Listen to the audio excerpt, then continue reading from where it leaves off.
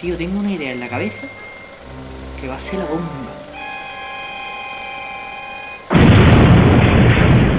¡Qué fenómeno! Pues se quiere una bomba. Anda, mira que bien veo ahora. Coño, que tenemos tele.